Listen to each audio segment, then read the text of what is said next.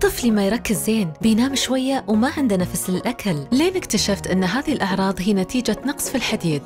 تعرفين أن طفلك بيحتاج على الأقل 6 ملغرامات من الحديد يومياً؟ وهذا بيعادل تقريباً 20 لتر من حليب البقر أو كوبين فقط من Bebelac Junior Nutri 7 في واحد. لأنه يحتوي على ال prebiotics وفيتامين C اللي يساعدون الجسم على امتصاص الحديد مع دعم النمو الصحي لطفلك.